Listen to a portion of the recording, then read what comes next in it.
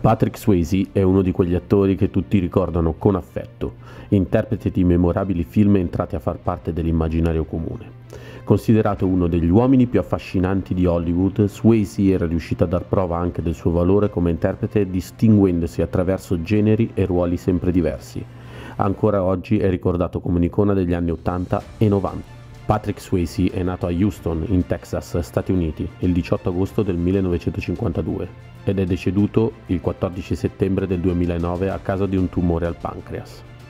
L'attore debutta al cinema con un ruolo nel film I ragazzi della 56esima strada, per poi ottenere estrema popolarità grazie al ruolo da protagonista in Dirty Dancing, Balli Proibiti nel 1987.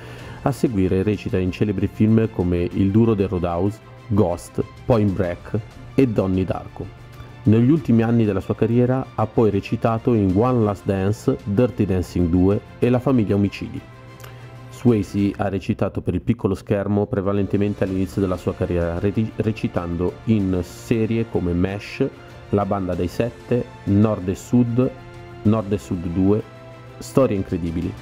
Torna poi a recitare in televisione nel 2009 in The Beast, serie poliziesca dove è protagonista accanto all'attore Travis Fimmel Qui Swayze ricopre il personaggio dell'agente dell'FBI Charles Baker, l'ultimo ruolo della sua carriera.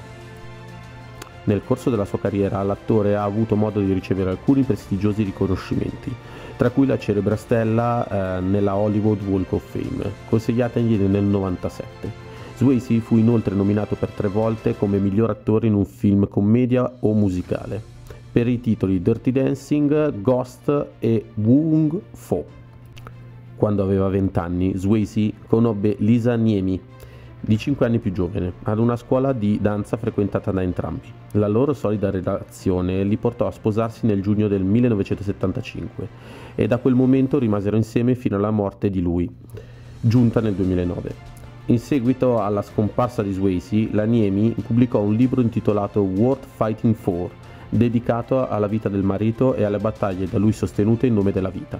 I due eh, realizzeranno insieme anche il film One Last Dance, ispirato ai loro anni di gavetta come aspiranti ballerini. Swayze e Laniemi non hanno mai avuto figli nel corso del loro matrimonio. Nel 1990 si diffuse però la notizia che i due erano in attesa di un figlio, ma sfortunatamente durante un'ecografia scoprirono che il bambino era morto. Dopo aver cercato di concepire un figlio in modo naturale, i due rivelarono a un'importante rivista che stavano prendendo in considerazione l'idea dell'adozione, ma questa non si realizzò mai. Nel film Point Break, punto di rottura, l'attore interpreta Body, criminale appassionato di surf. Per una scena era previsto che il personaggio si paracadutasse da un aereo in volo e per realizzare ciò Swayze si rifiutò di farsi sostituire da una controfigura. L'attore era infatti anche un esperto paracadutista ed eseguì personalmente l'acrobazia, dovendo poi replicarla altre 50 volte fino al chuck decisivo. E lo sapevate che per lo sceneggiatore del film Ghost, Swayze fu da sempre la prima opzione per il protagonista, ma il regista non la pensava nello stesso modo. Si decise perciò di proporre la parte ad altri noti attori come Johnny Depp e Bruce Willis, ma tutti si dichiararono poco convinti del progetto e del dover interpretare un fantasma. Fu solo a quel punto che Swayze poté sostenere il provino, risultato perfetto per il ruolo. Ricordando l'esperienza vissuta sul set del film, Swayze ha in seguito dichiarato di aver trovato il ruolo di Sam Wyatt il più difficile della sua carriera. Il motivo principale era che, essendo il personaggio un fantasma, l'attore doveva trovare il modo più convincente di essere soltanto un osservatore delle azioni che accadono nel film e non un partecipante attivo. Per il film Dirty Dancing, Balli Proibiti, Swayze si esibì nell'esecuzione della canzone She's Like the Wind, facente parte della colonna sonora del film e diventata con il tempo un grande classico. L'attore aveva scritto il brano anni prima del film e quando lo propose ai produttori questi ne rimasero incantati a tal punto da inserirlo nella pellicola. Ancora oggi la canzone viene utilizzata per molti film d'amore.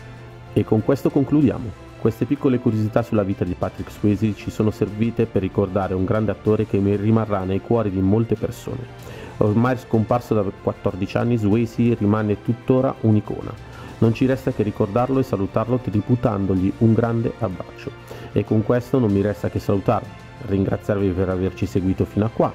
Vi ricordo di iscrivervi al canale se non l'avete già fatto, mettere like e condividere questo video con le persone che amano questo grande attore. Vi saluto e ringrazio per aver visto questo video fino alla fine. Un saluto da YouTube Top Chart.